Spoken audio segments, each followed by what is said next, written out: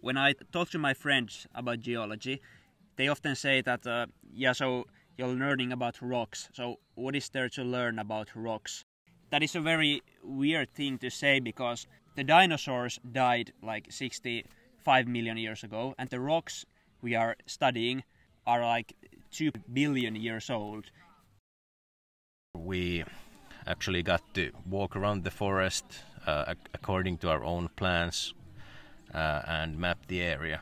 And at the end goal was to make a, some kind of coherent geological map of the whole whole uh, study area, which we could present and understand and maybe theorize as to how it formed. We learn how to really take samples during the course, mark notes about our environment, and really just be able to trust ourselves as well. In the forest, when I first go to a new outcrop, I take the coordinates and then we measure the strike and dip. Those are the, the basic orientations of the bedding that you can see and um, the kind of uh, foliations that you can see in it. Seeing these uh, rock type contacts and building the map was very helpful for me and, and gave me kind of like a concrete example of uh, the things we've learned in the classroom.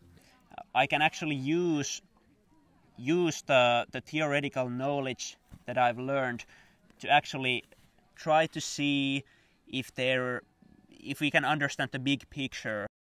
I love working outside because I don't know, I just love the fresh air and then the sunshine and and the spiders and the heat and the sweat and also um, to really really take a go at cracking through the bedrock of Finland so that's okay.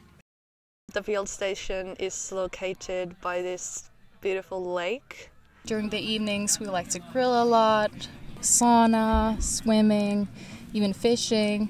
Really, really get to know our fellow classmates better and form, I would say, really, really good friendships as well.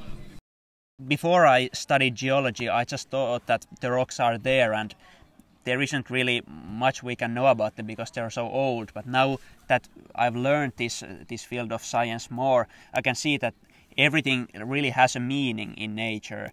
There's a meaning why why every rock uh, is in the orientation where they are in. There's a meaning why every mineral has the color that they have, and uh, you can use your observations to learn more of what is happening in, in nature.